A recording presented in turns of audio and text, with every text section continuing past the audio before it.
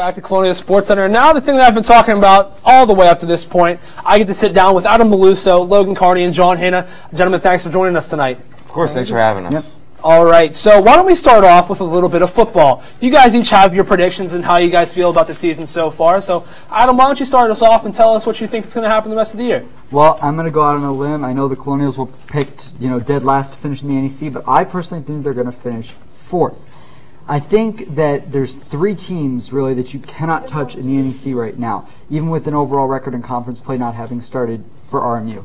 That's Central Connecticut, Duquesne, and Sacred Heart. Sacred Heart is a bit of a shock to me. They're starting off 2 and 0, and Duquesne's as good as we thought they were going to be. They're 3 and 1.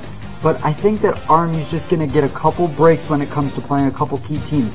One is Wagner and St. Francis, but essentially it's a four-way tie between Central Connecticut State, RMU, uh, SFU, and Wagner, with a both that all have one and two records. So I think that's a little bit crazy right now. Central Connecticut, I definitely think will put itself apart from the pack.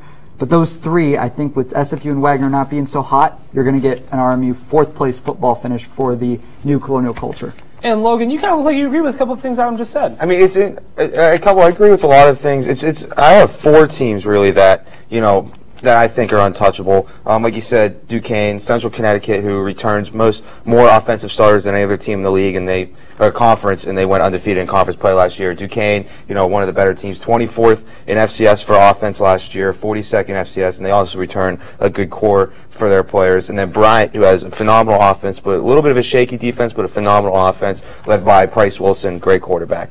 But I also put St. Francis as sort of an untouchable team in that group of four. St. Francis defense, you know, last year, again, I like to use last year's stats because conference season hasn't started yet. Um, 14.6 points per game allowed their defense, which was fifth in all of the FCS football. Now that they, they lost a bit, so it's not like they're going to be just as good this year.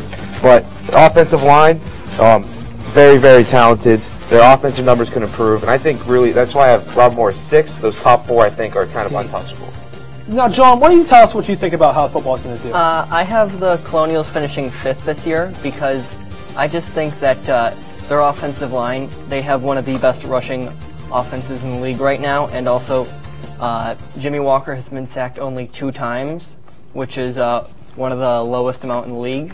And then I agree with uh, uh, them that Bryant, Central Connecticut, and Duquesne are some of the untouchable teams in the league. Absolutely. So, gentlemen, why don't we skip over soccer here and jump right into volleyball? What do you guys think is going to happen? Jon, why don't we start down here with you this time?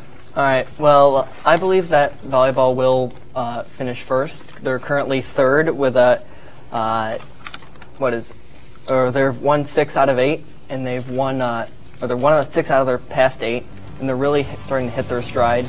As you mentioned earlier, they uh, went two and three in the uh, Sheridan Invitational, and their top three team overall in both hitting percentage, their opponent hitting percentage, and all their service aces.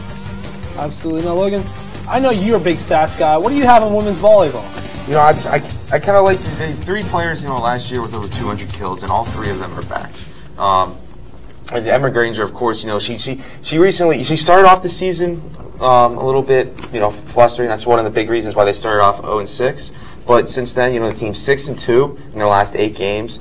Um, Emma Granger, you know, certainly getting back. You know, uh, Jon brought up hitting percentage. Emma Granger, fifth in the conference in hitting percentage so far in this. And uh, Maria Alfano, tenth in the conference. They have a, a, good core of players that are young, and I have them winning. You know, I, I, said they win it this year, last year, and I have them winning it this year again. Absolutely. Now, Adam, I know you always have a good opinion, so why don't you tell us what you're thinking?